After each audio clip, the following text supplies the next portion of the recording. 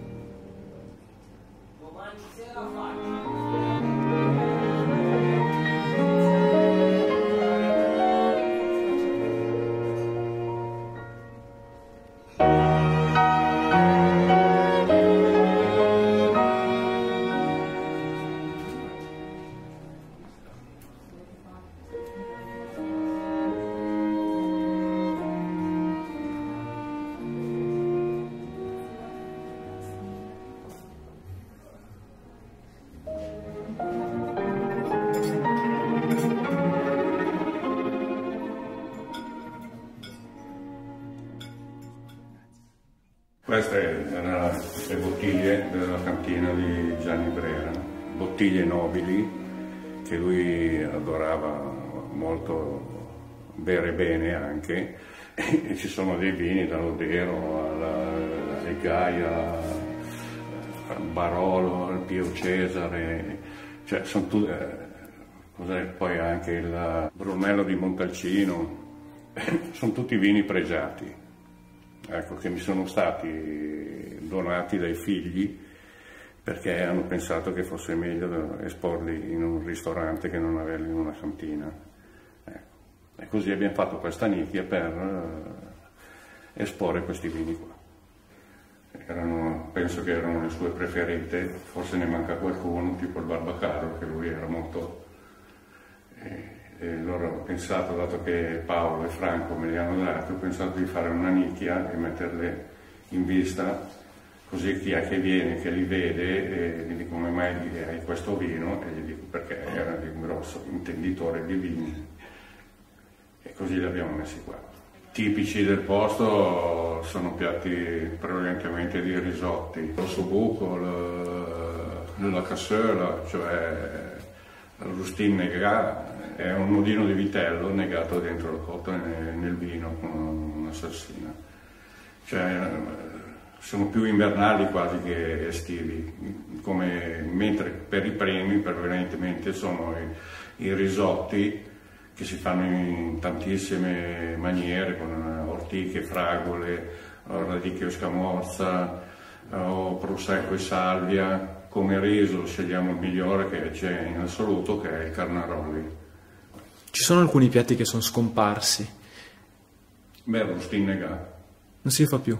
È difficile, mentre l'osso buco va ancora molto, anzi. Cioè, dobbiamo sempre farlo perché la gente viene anche per chiedere l'osso buco, come, anche come piatto unico con il riso alla milanese con l'osso buco, oppure la, la costoletta alla milanese. Adesso mi viene in mente anche la monda delle rane, anche le rane fritte facciamo ancora la frittata con le rane, ecco, beh, a parte che lui non aveva bisogno perché era un grandissimo intenditore, sapeva tutto di tutto. E cucinava? Non lo so, era più propenso a stare a tavola. Ci sono state delle occasioni in cui cioè, o ha qualche aneddoto particolare da raccontare? Che diceva, o che diceva o che avete sì, vissuto no, assieme. Una sera al Mirasole, dal Nino, che raccontava alcuni aneddoti, ma anche nel campo sportivo e non, cioè con tutto il rispetto di, che raccontava quella sera di, per Gimondi, non è che faceva notizie quando Gimondi arrivava primo, era Merz che arrivava secondo, cioè tutti questi poi lui anche con eh, Gianni Rivera eh, era amico, lo stimava, però nel senso che cioè, Dio ti ha dato quel dono di natura, tu devi sempre giocare da 8. Quando giochi da 6, da 7 o da 5 e mezzo, io ti martello perché i tuoi compagni per prendere 6 o 7 si devono fare un mazzo così in poche parole, no? Mentre lui con la classe che aveva poteva bastare sia lui che Mazzola. Eh. Purtroppo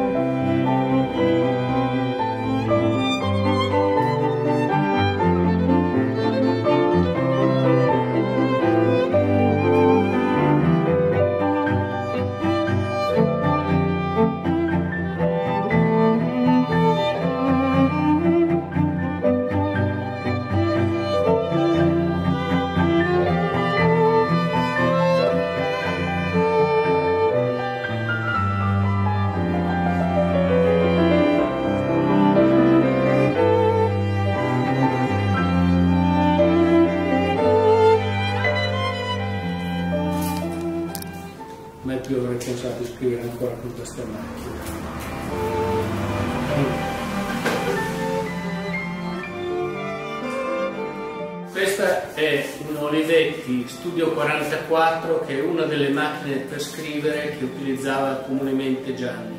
Quelle che usava di più erano le portatili, le lettere 22 che andavano in giro con lui che erano meno pesanti. Questa è un po' ponderosa ma comunque funziona benissimo e adesso è qui a San Zenone e scrivere con una macchina da scrivere meccanica è proprio decisamente un'esperienza è diverso da scrivere al computer, meno bello anche, però aveva un suo fascino, bisogna pestare forte sui tasti, bisogna fare così. Poi intanto la cosa si blocca.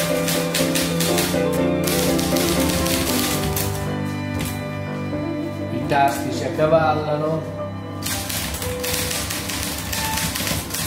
qui non è particolarmente vogliata perché ovviamente è solo un oggetto in esposizione, ma volendo, volendolo fortemente uno potrebbe ancora scrivere magari un bel romanzo su questa macchina.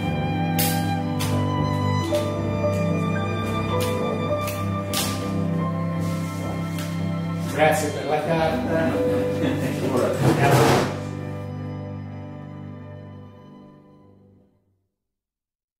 Ci troviamo a San Zenone al Po, il paese natale di eh, Gianni Brera, la sua amata eh, Pianariva e ci troviamo soprattutto nel museo che eh, l'amministrazione comunale di San Zenone al Po nel 2010 ha pensato di dedicare a questo suo illustre personaggio. Questa praticamente è, eh, questo è il piccolo museo che noi grazie alla famiglia Brera nella persona del Paolo di Paolo Brera siamo riusciti a mettere in piedi qui a San Zenone. E devo dire che è meta soprattutto nei periodi eh, primaverili ed eh, autunnali di persone che vengono, vogliono sapere, vogliono vedere, si fermano, si informano.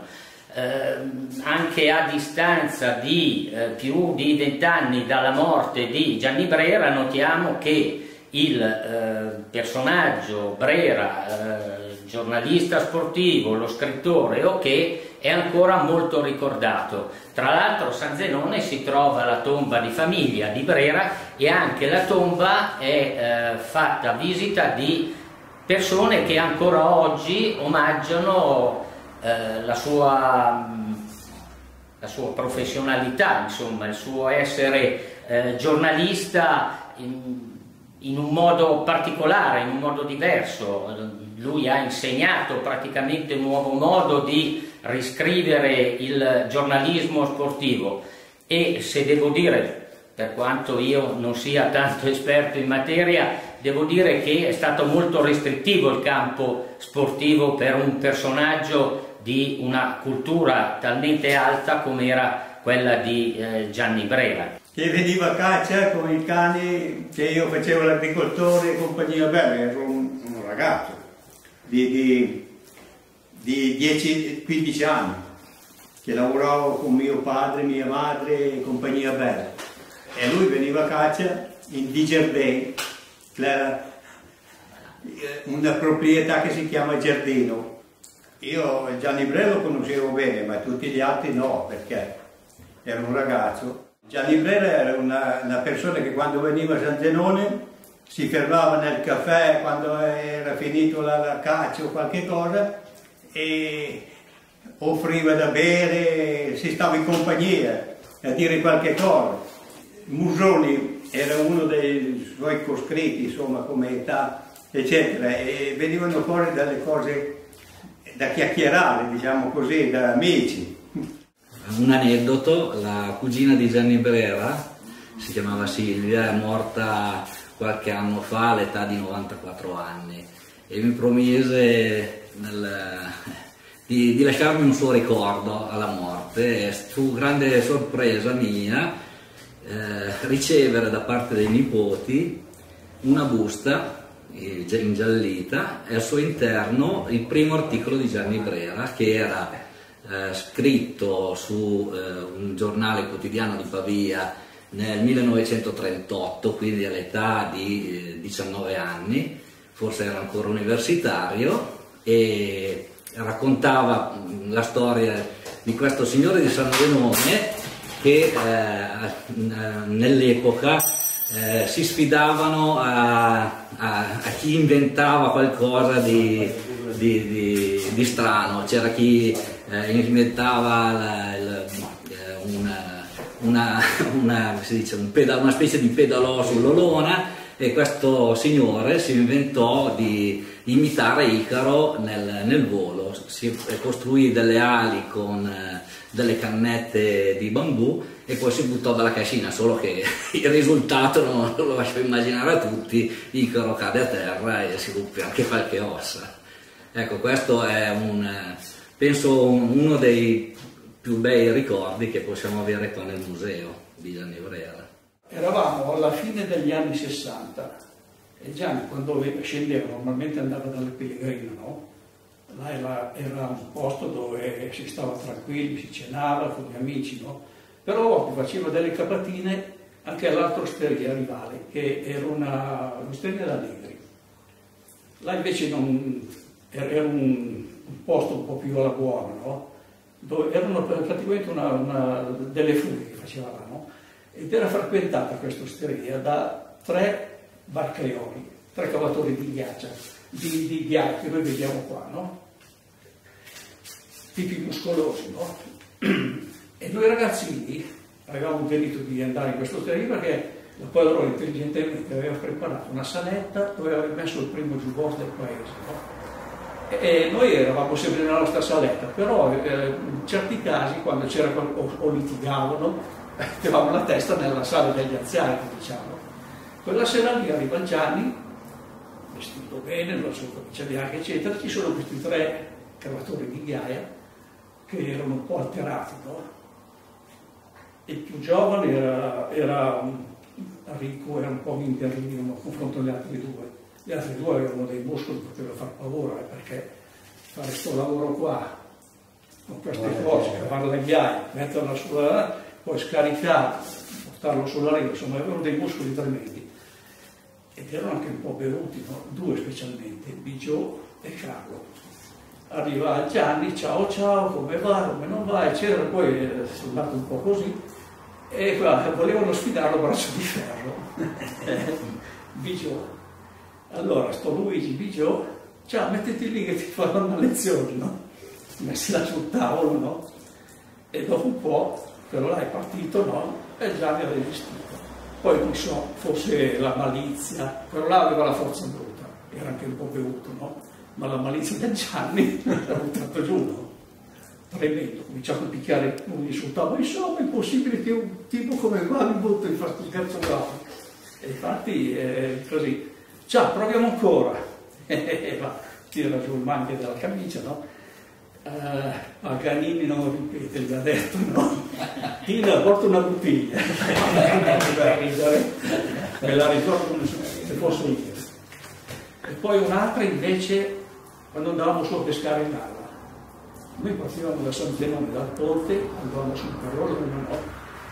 e poi si scendeva pescando in Alla con i cavalletti, i grilli, no? abbiamo dei beccavedani. Quel giorno lì eravamo io, perché avevo 14-15 anni, ma mi piaceva usare la barca e lo, so, lo sapevo fare anche discretamente bene. C'era mio zio, che era Vanini, che era il proprietario della barca, c'era Gianni e c'era suo fratello, il List, che chiamavano il List, no? Andando su tutto bene, poi scendendo si è cominciato a parlare un po' difficile, mi ricordo la frase che ha detto Gianni, non so a riferimento a cosa perché io ho detto con la mia barca, però mi è rimasto impresso quella frase lì grama, nada, Spagna incoltivata. La cosa che mi fa pensare è quello, perché nada è una parola spagnola, però coltivata c'è un doppio senso, no? E così, ti ricordi bellissimi. E poi quando sono stato suo, che pare che ha dato una bellissima dedica, eh, il suo ultimo libro, il, cos'è questo qui della Speziana, il mio vescovo e le animalesse, una dedica bellissima, cioè la sua memoria. A, a me Cousin, perché dovete sapere che la moglie è la prima cugina di mia mamma, mia mamma è Carmigna anche lei, erano figli di fratelli. A me Cousin Giancarlo, che sarei io, che non conoscevo per colpa mia, ma come in gamba, È così.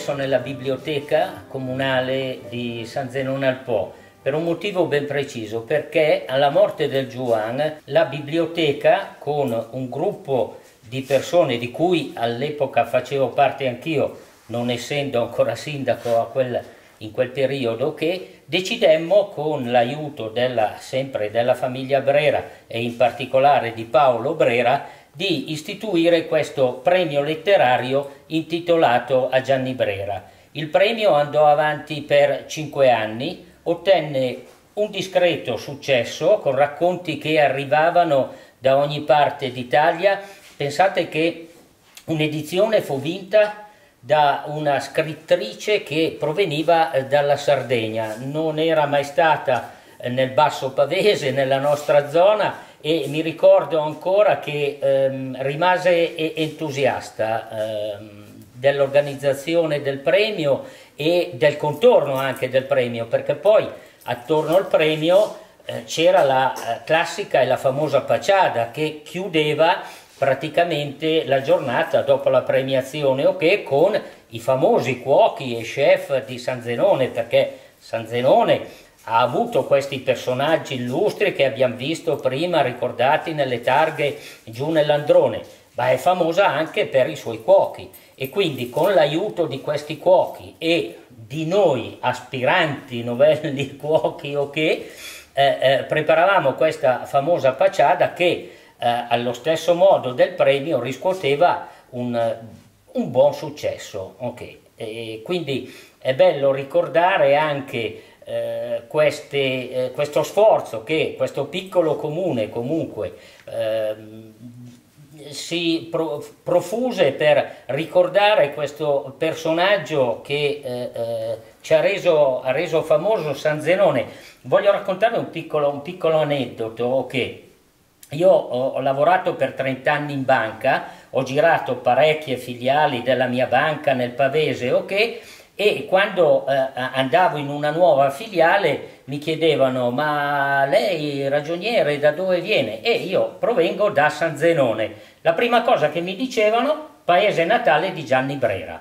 Ecco, quindi San Zenone era collegato o connotato con la figura di questo personaggio che eh, insomma ha reso, ha reso, famoso e ha dato un po' di notorietà anche al nostro piccolo, piccolo paese. Mi piace ricordarlo qui nella biblioteca perché appunto è stato tramite la biblioteca che per cinque anni siamo riusciti a portare avanti un'impresa per noi titanica perché eh, eh, eh costi, eh, abbiamo dovuto affrontare i costi per la pubblicazione dei libri o che eh, per cinque anni ce l'abbiamo fatta, dopo costi erano troppo, troppo alti, troppo grossi per noi e ci, ci è dispiaciuto molto perché era una manifestazione molto bella, molto sentita e, e che ricordava comunque questo personaggio, questo grande personaggio che era Giovanni.